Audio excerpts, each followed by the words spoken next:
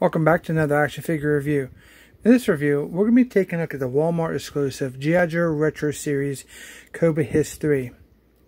This is retailing for $24.96 and is currently available as the release of this video. Um, so this is actually pretty much the re retro style packaging. Uh, there is a little difference in the packaging. Uh, you no longer can see the window box, so the figure is now just a printed image. At the top of the packaging, we have the retro G.I. Joe logo, which is fantastic. Just below that, we have the Cobra Hiss 3 logo. We have nice artwork of the blue Hiss tank with the dirty treads. Cobra Commander on the back. We have a trooper blasting away into the air. And then we have Rip piling the Hiss. And also we get Rip It action figure in this set. We have the Cobra enemy insignia there in yellow and black we do have uh, the, Hasbro logo in the bottom left corner. We have warning, trick hazard, small parts not for children under three. Recommended for like ages four and above. And you can see the figure image here, and his name is Rip It. Top of the packaging, we have the Cobra Enemy logo, Cobra 3, G.I. Joe, and the like Hasbro logo there. At the bottom, we have a picture of the figure, a bunch of um, multiple language stuff no one really cares about. Here's the UPC. It's just hard to hold. Um, you guys want to use that UPC to find it at Walmart. Um, the side of the boxes is pretty much just uh, the same thing. You know, we have the picture of the Hiss and Rip It. Cobra Hiss 3, G.I. Joe, Cobra Enemy logo. And it's the same for the other side here. Got to do this with one hand because I'm holding the camera. Pretty good. But for the back of the box, let's see if we get that in frame. Okay. Up here we have a bunch of crap. You know, if you were a mint in a box collector or mint on a card, whatever, you know, it's getting relatively annoying to get all this garbage on your packaging. You never had that in the vintage style. You know, they got that inside the package on the bottom of package. We don't need it on the back and every side there is. Um, on the right, we have the Cobra HISS 3 Cobra logo.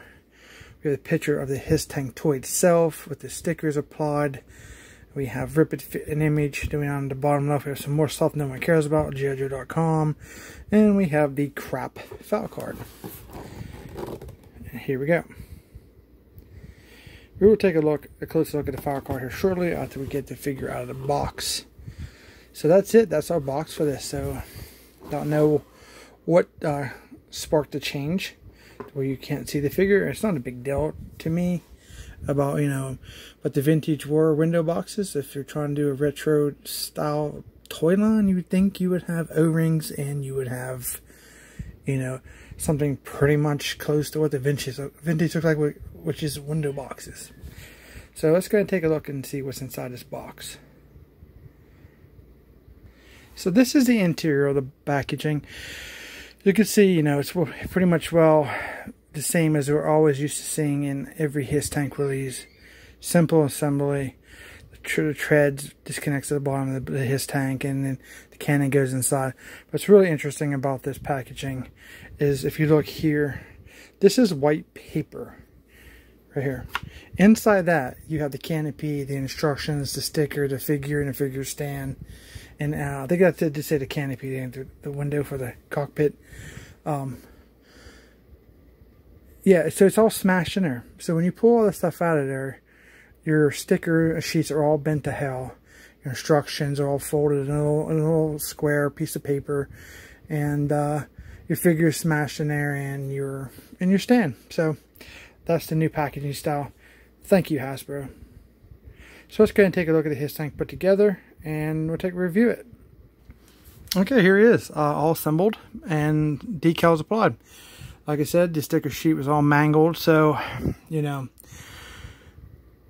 if you get them out of there, you might have to be careful with your stickers and some might be, uh, you'll have to trim them up a little bit to get the bent pieces off or whatever, but is what it is. So let's talk about the tank. Um, here's a side view. I've already applied the decals and assembled it. It's very simple, basically. Yeah, no, not very hard put together. For the, the color, let's do the color. Uh, look at the color. It's pretty good. I do like the color blue. Um, we have the red 813 on the side. We have the Cobra logo, which is fantastic. Um, there's a decal that goes in here. Um, the treads are black with a very heavy, dirty look, like mud all through them.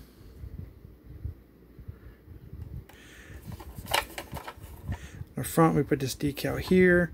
see more dirty treads. Goes underneath. We have the rolling wheels. Rolls very nicely. Definitely, you know, a vintage style tank. No complaints on the HISS tank. I do like the shaded blue they've used. Um, I wish I didn't have my 25th anniversary blue tank packed away or could have did a comparison. I think this is a different shade of blue, but don't hold me to that. Here's the back of it. Of course, um, on the decal here, I had to put it just a little bit lower because it's a wider decal. And they actually showed an instruction to put it up high, and it just hangs over. If you let your stickers hang over, it you're just asking for trouble in the future with dirt, and it is they just crumble apart. You want to try to get your stickers on the entire surface. They last a lot longer that way. We have a tow hook here on the back. It's really good. Here's the other side. It's pretty much the same as side we just looked at. We have a sticker here. Here's the top of it. Have a sticker there in the front on top of the uh, can, uh, gun turns. Now this is the most difficult sticker you're going to put on. The sticker, for me at least, was too big. Which it has a lot. You know how, for example, you have you have the 813, but you have that clear sticker. Well you have that all around the edges. That is that's what causes your problem.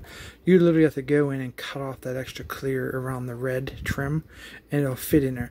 Uh, but also it's not long enough to cover the entire front end. So that's uh, disappointing. So canopy is kind of really nice.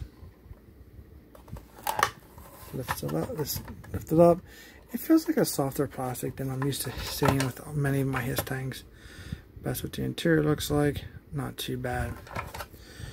But that is your HISS tank. You know, it's basically a HISS tank. No, you know, no problems. It's exactly what we've been getting for, you know, the 25th anniversary line and from the vintage to through the 25th anniversary line to now. It's just, it's blue.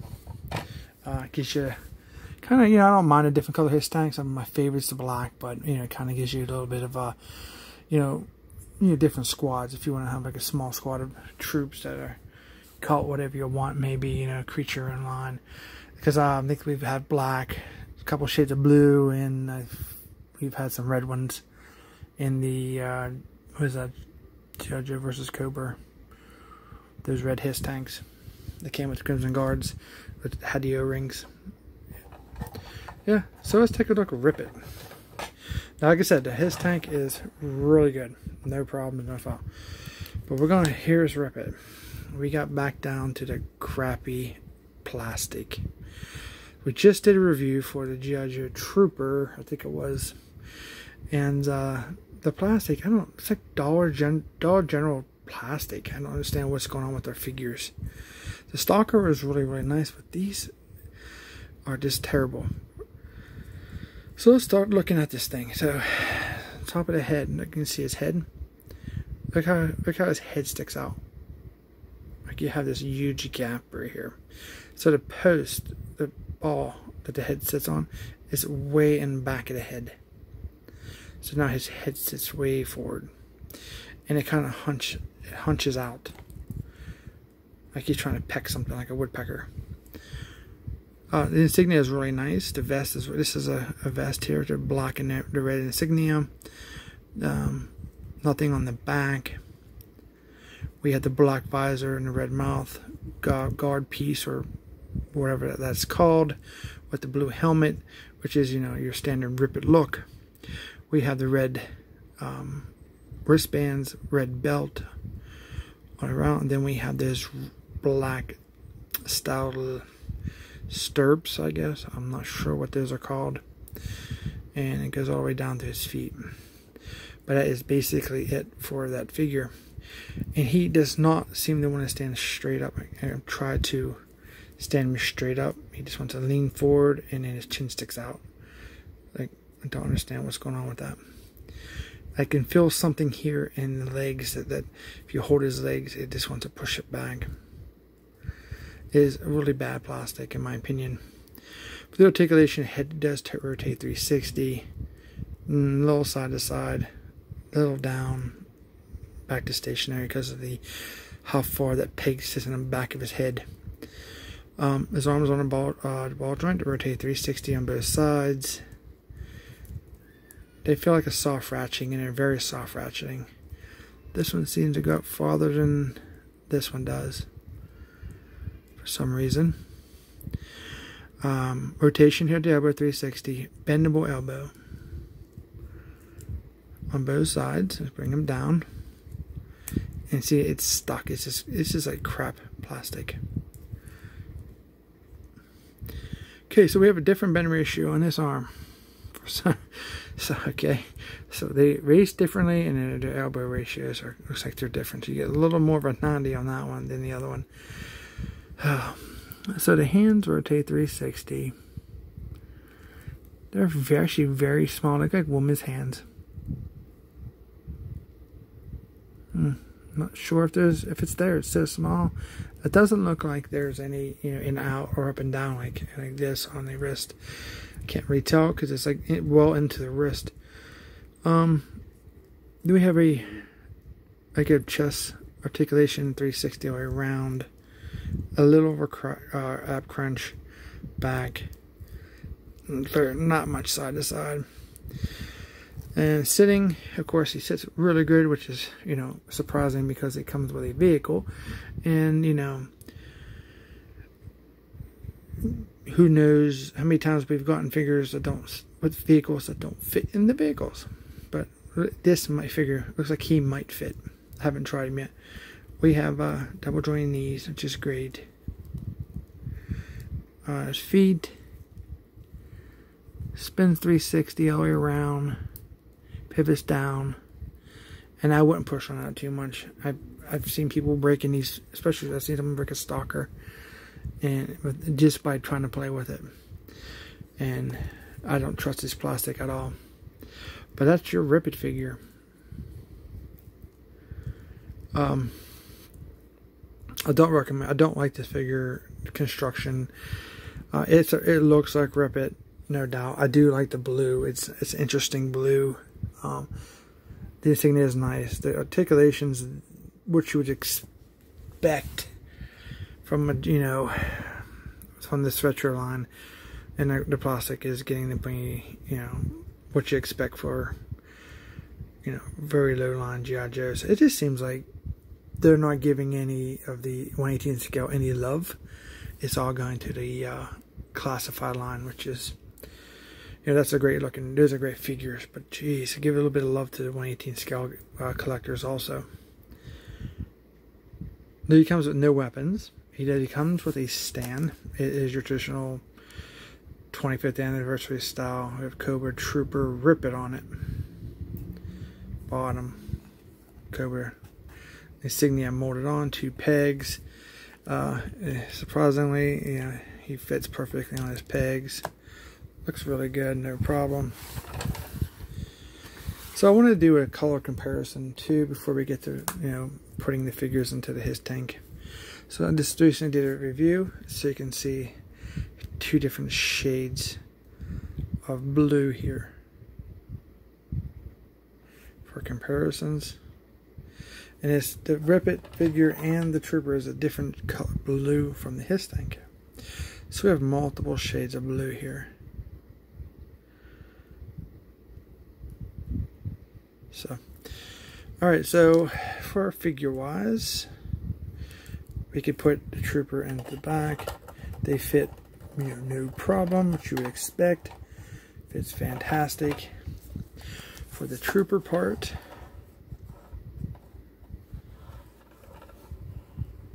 good.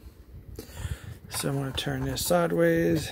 We're going to try to prepare Rip It here to get Rip It into the cockpit. And let's see if we can get Rip It to fit. Oh, he just popped right in. He sinks down in, so that's a good sign. Yep. No problemo. There he is. Perfectly inside. Course, you can situate HISS hands as you see fit, but for our purposes, he's perfectly fine. He's inside, driving and blasting away. Like I said, the HISS tank's really nice. It's the basic HISS tank. If you want some more his tanks, especially blue versions, yeah, this is the way to go because this is a very nice blue. So for the back, which I'm probably curious as I am, to see if these is a vintage mold. I wonder how well the pig fits on these figures. Um, it looks like they would fit, but not as tight as you would expect. So, I mean, a little bit of vibrate. He's holding on. It's there. But it's not as snug as you probably would like. But you can get the job done. So, that's a good sign. I mean, I could take it off very easily. It's not hard to find the hole. It kind of goes in and gets stuck on there. Yep. Well, that was actually better for no, not really. It's kind of the pegs are really short compared to the uh, we're used to seeing for these modern figures. All right. So, final thoughts. Packaging. Talk about the packaging. It's pretty good. Uh, don't like the file cards. Oh yeah, we gotta look at the file card before we go, huh? Don't like the file cards. The box is, you know, pretty good. I love the G.I. Joe logo. That's my favorite logo. Um, I don't know why they gave up the window boxes. I'm betting it has something to do with cost. They probably saved some money by not utilizing that plastic window and the plastic tray that the figure, or it's not even a plastic tray they sit in. It's like cardboard, isn't it? But then you eliminate all the, you know, the wire ties, whatever they're using to hold the figure in place. The plastic window is just now a box that you can just print across there. There's no cardboard insert to hold the figure. Just throw him in a piece of paper bag, toss him in a box, save 13 cents. Um, for the file card, let's take a look here. This is the file card up close. So we have file name uh, Booth, Fred T the third, as well as a HISS tank driver, primary, especially heavy equipment operator. Birthplace is can't see through the camera. Riverfall, yeah. And then we have mean and fearless doesn't begin to describe Rip It. This guy knows only one thing destroy or be destroyed. And you can say that in four other languages if you like. I bet I'll work for the, uh, the photograph. I do love the Cobra insignia. It was cool. But that's it for that. Okay, uh, for the HISS tank, highly recommend it. I mean, it's a vintage HISS tank. It's blue. It's the same thing that we love. Uh, it's iconic. Stickers are cool if they're not damaged from being smashed in a paper bag. I do like the red. Um, I'm not sure. It probably is the same number from the other HISS tanks. I don't remember what the other ones were. But uh, if you do, you can comment down below, and or not. Um, the figure's garbage. Um, the 25th anniversary Rip It we got is way better than this Rip It. This Rip It's just a, um, what is, what is a Nard figures is a kind of Dollar General figure, generic figures. The plastic's terrible. The plastic is actually worse than the plastic on this figure. yeah. That's it. Um, like I said, these are 24.96. So Walmart's are showing up now. I got this at Walmart when I picked mine up. There were like three of them there. Um, so I'm not sure if they're available through everybody, everybody's Walmart. Uh, when I was there, they had three HISS tanks, three stalkers, and two blue troopers. This trooper here that we use for this uh, comparisons. Um, but he has the green bazooka. Uh, I bought a HISS tank and one trooper and left the rest hopefully for another collector and not a scalper. So let's hope that a collector got what they wanted before, you know, someone else wants three times the price on eBay. Hope you guys enjoyed this review. If you did, please subscribe. Please like the videos. That way YouTube knows that you're enjoying these videos and lets me know also if you like these videos. Um, don't forget to share the videos with all your fellow collectors. And uh, we will see you guys in our next review.